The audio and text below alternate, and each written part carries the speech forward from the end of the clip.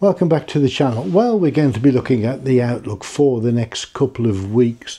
I've put a couple of images together so we can have a look at uh, what each model thinks and so we can have a look at the comparison but a lot of uncertainty on how cold it will go how long it will last will there be any wintry weather but it's definitely going to go colder so let's dive in and have a look many thanks to metdesk for the use of their charts wxcharts.com what i've done i've put two images together with the same date and time you can see the date and time on the top right hand side of each image. The GFS image is on the left and the ECMWF model is on the right. So we're starting off Sunday the 16th and you can see what we've got around on that date. Both got low pressure off the southwest part of the UK. The purpley colours, that is wintry snowfall. Obviously, it's over Scandinavia at that time. You can see that uh, both have got some cold air starting to come down from the Arctic. So let's start the model. Monday the 17th, cold air is coming down the east side of the UK, got some wintry weather coming down Norway, uh, down into the North Sea area. But all in all, both models are pretty close together there. Tuesday, the GFS have got some wintry showers coming into the north of Scotland. The cold air is coming right down the UK. Uh, and the ECMWF have got a quite a larger area of low pressure off northwest Scotland and the colder air is coming more down the uh, east side instead of straight down the country. Let's move forward one more day. Wednesday the 19th. GFS again, he's got some showers down the east coast and on the northwest side with some wintry weather coming down before Scotland. The ECMWF have got a low pressure system sitting over the top of Scotland, bringing some wintry weather on the northwest side. Thursday the 20th. GFS still got cold air coming down the country, some wintry weather on the very top of Scotland. ECMWF have got this low pressure system off the northeast coast, bringing some wintry showers around in northern Scotland and England and possibly Northern Ireland. But they're bringing the the winds around from the northeasterly direction instead of the northerly which the GFS has got. This is because they have put in a low pressure system there.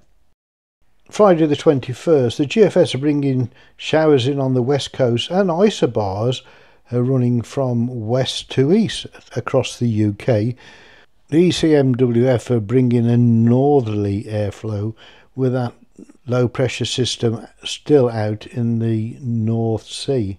Saturday the 22nd. Different shape of the low pressure system of the GFS compared with the mix up from the ECMWF of a couple of low pressure systems. Uh, both are bringing in fairly wet conditions. Um, but the ECMWF have gone in for some wintry weather over Scotland and possibly uh, northwest England. Sunday the 23rd, well, the GFS are definitely bringing in a low pressure system through the UK with a low pressure, with a centre of the low pressure system between Scotland and Iceland.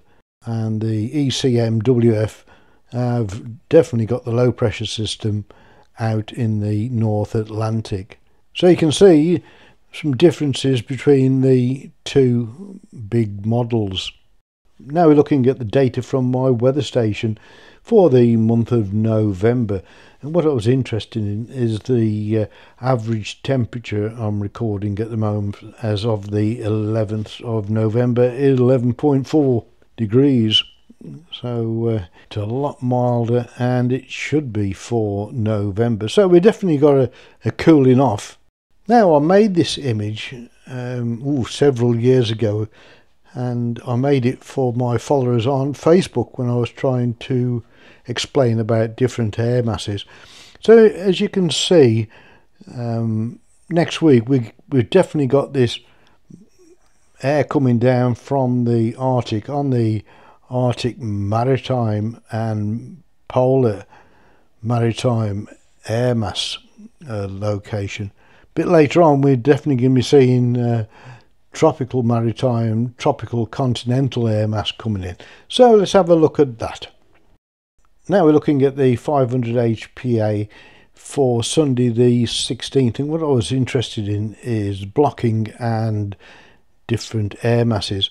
You can see the the high pressure blocking from the Atlantic up into southern Greenland. You can see the warmer air mass with the orange colours and the blue colours is the colder air mass which is coming over most of Scotland and England, with only the south of Wales and the southwest at that time still in a milder air mass. So we go on uh, the week to Sunday the 23rd, and by this time there's been a, a battle between the colder air mass to the north and the warmer air mass to the southwest in the southwest Atlantic and uh, and southern Europe. You can see the definite warmer air mass there. I do hope you found that interesting, all of it. Bit unconclusive, but there was a, a fair bit in there with the different models and the data from my weather station and other bits and pieces I've put into the video. If you've enjoyed it, do give me a great big thumbs up. I would appreciate that. And do leave that comment below. And if you haven't subscribed to my channel, do subscribe to my channel. Love to hear from you. Anyway, until we meet again, look after yourselves and those you love. BFN. Bye for now.